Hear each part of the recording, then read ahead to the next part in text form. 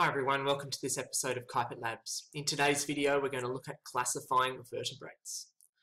So we're going to start off by looking at what we mean by a vertebrate and then we're going to go through the different classes of vertebrates, so the different groups that we would normally kind of assign um, a vertebrate into.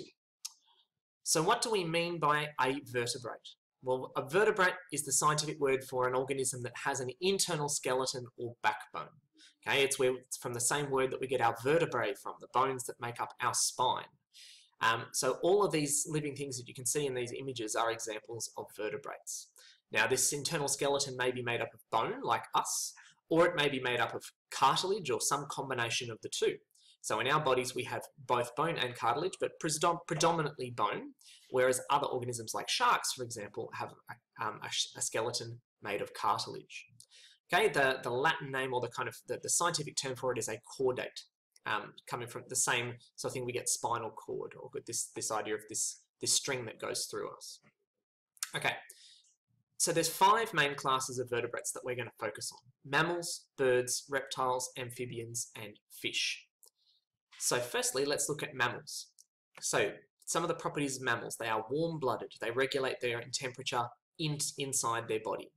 Most mammals give birth to live babies, live young. Um, there are some examples that lay eggs. We're going to go through that in a moment. Um, they're called monotremes. But most of the time they're giving birth to a living, breathing, um, you know, juvenile. So baby, Joey, whatever it is that that young, that baby that's given birth to, feed on milk through what's called the mammary glands. So through a teat or a nipple that then actually get nourishment from the mother. Their skin is covered in hair or fur of some kind, and they exhibit what we call maternal care. That is, mothers look after their young. Um, they feed them, but also actually keep them safe and make sure that they are, um, you know, they, they kind of stay with the group or stay with the parent.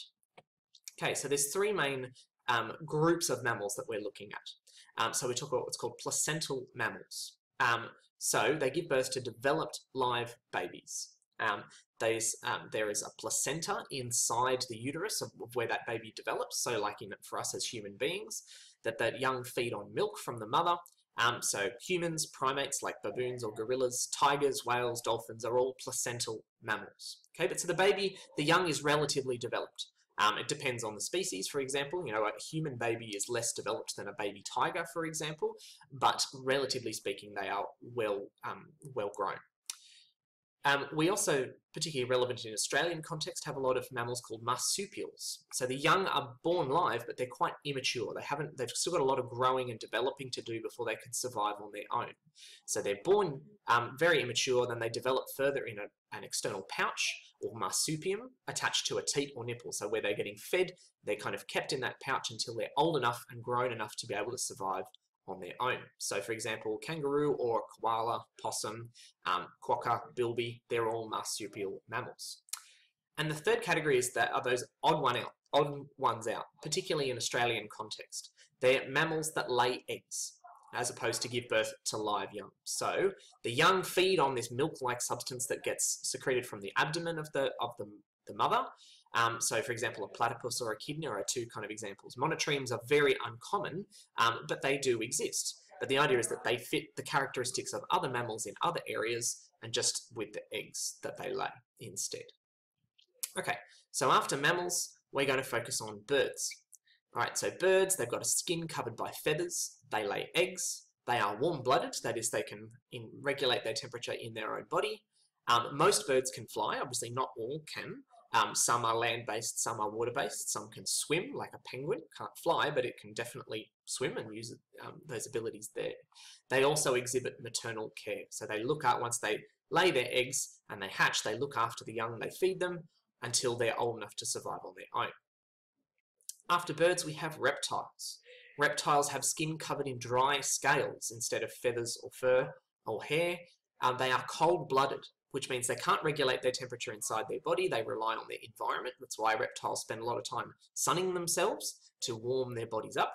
Um, but it means that they can also survive. Um, they don't need to eat food as regularly because um, they they conserve their energy better. They lay eggs. They may be leathery eggs um, or hard shell kind of eggs, but they have this waterproof kind of coating that that helps them to survive where then they get laid. But there's also usually no maternal care for reptiles compared with mammals and birds. Okay, so once the eggs are laid, you know, they're kind of kept safe and that, that's kind of it. Um, so turtles, crocodiles, snakes are all example of reptiles. Okay, so they may be land-based, they may be water-based or some mixture of the two, um, depending on the, their particular kind of class.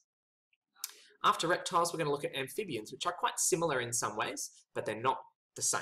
Try not to confuse the two. So amphibians have naked, moist skin rather than dry scales, hair, fur, feathers.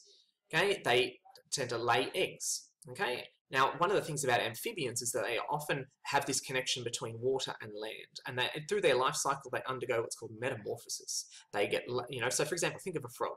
It gets laid as eggs in water, develops into a tadpole which lives in water.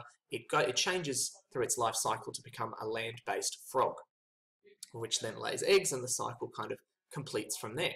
Um, other amphibians do the same thing, like the axolotl um, where we, it lives in water and then it can change to become a salamander if the right hormones are, are introduced. Okay, so that this, and you know, it's from the same way that we get this word amphibious, meaning it can be water and land at the same, like for the same thing. Um, but there's also typically no maternal care. Um, frog, cane toad, salamander are all examples. Um, and then lastly, after amphibians, we talk about fish. So fish, they breathe using gills. They have paired fins um, in some respect, their skin is covered in scales as opposed to all of the other kind of coverings for the other vertebrates. They are cold-blooded, their temperature is regulated by their environment, but because they live in water, um, that then the idea is that the temperature of the water is what dictates their body temperature. It's very energy efficient, but it also means that the temperature of the water is crucial to a fish's survival. You know, if you've ever had fish in a fish tank, no, you know, in cleaning out the water, you know you, you've got to use water at the right temperature, otherwise they will die. Um, they lay eggs, they're externally fertilized, so the, the eggs are kind of, you know, typically kind of fertilized in the water um, and then looked after from there. So clownfish or shark are examples of fish. Okay, so we looked at what is a vertebrate, something that has an internal skeleton or backbone, maybe made of bone or cartilage or some combination. And the classes of vertebrates, mammals, birds, reptiles, amphibians, and fish. We've looked at some examples of each, some of their key features that we can use to tell them apart. All right, thanks very much for watching. Bye for now.